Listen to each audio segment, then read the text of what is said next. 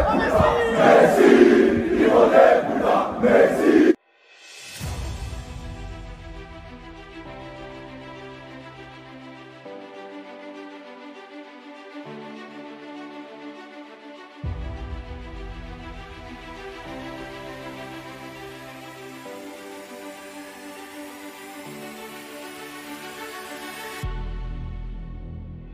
Lionel Messi didemo dan dicaci maki supporter fanatik atau ultras di kantor pusat Paris Saint-Germain Rabu 3 Mei waktu setempat. Dikutip dari Sport Bible, demonstrasi tersebut muncul setelah pemberitaan Lionel Messi akan meninggalkan PSG pada musim depan. Kabar itu memunculkan kemarahan bagi ultras yang berkumpul di luar markas Les Parisiens dengan meneriakan ejekan kepada Messi. Dalam beberapa bulan terakhir, Lionel Messi menjadi sasaran protes Ultras PSG.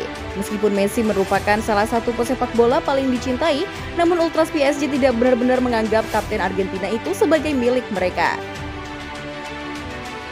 Messi yang saat ini masih dianggap sebagai salah satu pemain terbaik dunia dituding tidak bisa mengangkat performa PSG. Salah satunya karena klub ibu kota Prancis itu gagal di Liga Champions musim ini usai disingkirkan Bayern Munchen di babak 16 besar.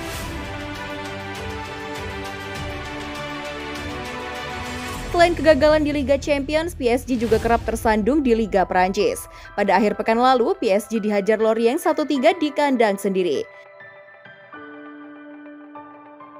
Perjalanan Messi ke Arab Saudi sebagai duta pariwisata negara tersebut diklaim benar-benar merusak hubungan sang pemain dengan PSG.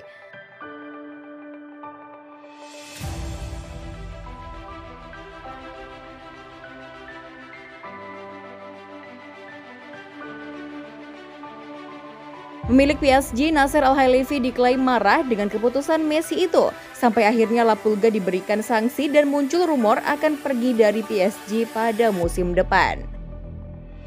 Al-Khelaifi menjatuhkan hukuman selama dua pekan kepada Messi berupa larangan berlatih, melakoni pertandingan, dan pemotongan gaji.